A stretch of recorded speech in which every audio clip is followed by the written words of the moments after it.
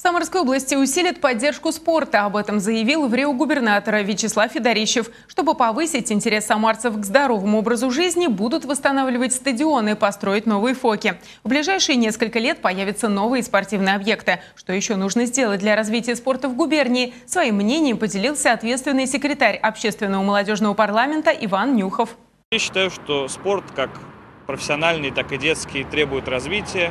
В частности, новый губернатор обращает внимание на развитие стадионов. Я слышал, вот стадион «Заря» на Мариса Тереза сейчас хотят реставрировать. Это классно, потому что футболом у нас многие увлечены. Требуется обращать больше внимания на спортивные детские школы, чтобы ребята, которые там занимались, получали достойный уровень. Привлекать специалистов, которые имеют большой опыт. И в Самаре есть такие люди, они способны развивать спорт. Просто нужно им в этом помочь.